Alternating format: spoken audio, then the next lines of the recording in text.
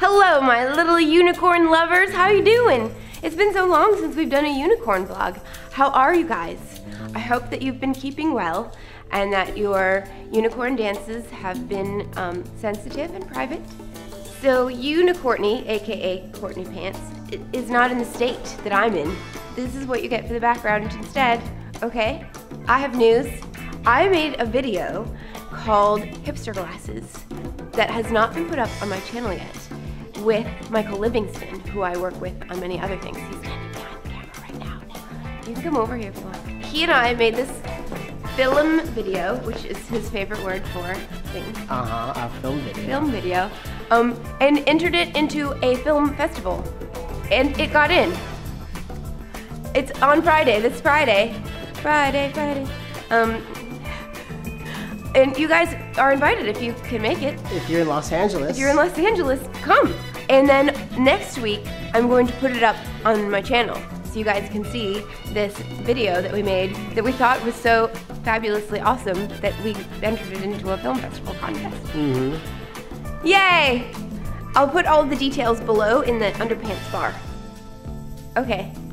Yeah, I'll go now. Okay, bye. Bye. He, go he goes to focus on my face. Next topic, outfit of the week. So the outfit of the week this week goes to Roxy Bella um, with her fabulous 1960s go-go outfit. I love the 60s and I think that they're very um, stylish with the eyeliner and the very clean lines and the poofy hair. This is my poofy hair. Mi sombrero, mis amigos. Hola. And from The Office, the outfit of the week goes to a look I like to call Dreamcatcher Gemini Edition. And now for a segment I like to call Nerd News. I'm putting on my pretend glasses. Nerd News. So, in, there's a lot of nerd news this week. Have you guys seen the Wonder Woman costume? I've been talking a lot about it on Facebook.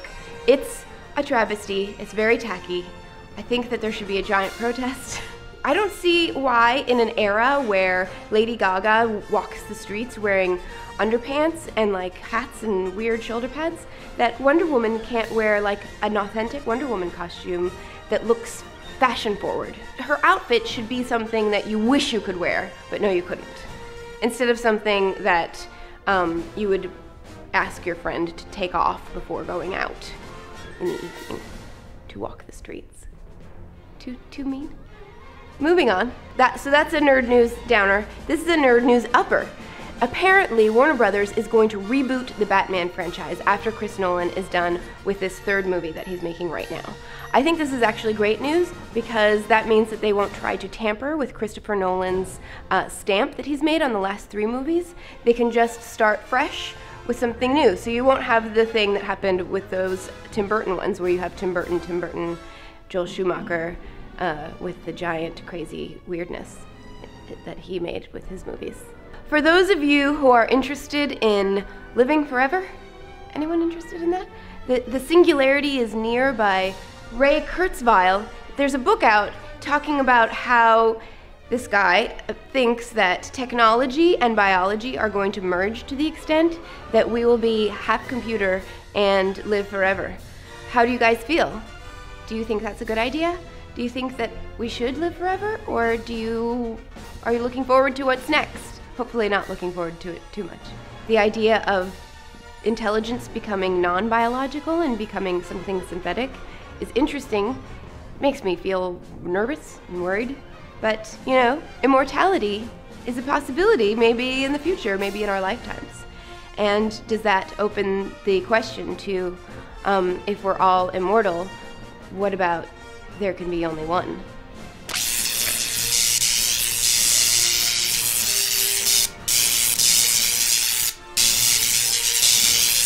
I, I have the power. Yeah.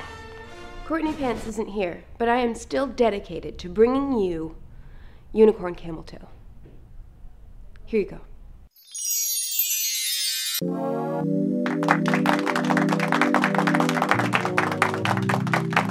I have been asked to give you guys acting tips with auditions and stuff. My audition tip of the day is to always rehearse your audition with another person. Don't just rehearse it in front of the mirror by yourself. Interacting with another person will get the lines and the feelings inside of your body, and then your body won't be a surprise to you when you show up in the auditioning room. Because I find that if you just read your sides and memorize them when you get there, you're just standing there. But if you're practicing with a person in advance, then you have your human body language already ingrained into yourself. Don't do this, probably. This is not appropriate for any kind of human behavior.